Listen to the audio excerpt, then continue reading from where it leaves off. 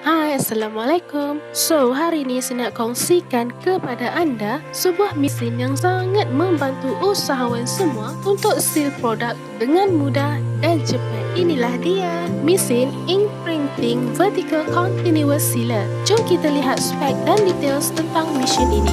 Untuk pengetahuan anda semua, mesin ini berfungsi untuk seal produk dengan mudah dan cepat. Mesin ini sesuai untuk seal produk sama ada bahan basah maupun bahan kering. Maksimum panjang plastik yang sesuai digunakan untuk mesin ini ialah 250mm. Manakala maksimum untuk kelebaran plastik pula ialah 600mm.